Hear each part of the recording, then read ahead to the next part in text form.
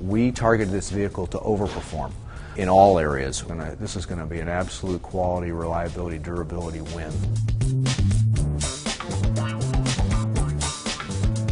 So this is not a floaty, you know, kind of rides all over the road. It's a very precise handling car. So customers, I think, will feel pretty confident with it. This car will be very much a European-like ride and handling, very different than the compacts that we've had in, uh, in the segment in the past.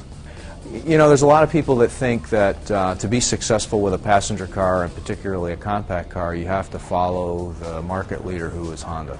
We think we've come up with a better mousetrap, quite frankly. We use a uh, Z-Link suspension. The car is very uh, solid and stable. You don't get a lot of body roll. You don't, you don't get a lot of gross, gross vehicle motions. It's a, it's a very solid, stable, confident ride. We, uh, we, we did test the vehicle across the world, and, and that's largely because it's a global car. Everywhere we went with the car, where we started to test it in a new location, we learned new things. And those new things have all been baked into the Cruze that's coming to North America.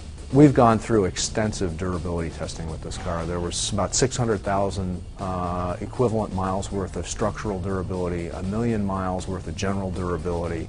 Uh, that all equates to about 4 million durability miles. And this is before customers ever you know, sat in the seat people are interested in a car that they can that they can keep for a long period of time. They can pass down to their to their children and know that, that it, it's going to be there and it's going to start every morning when they go to work.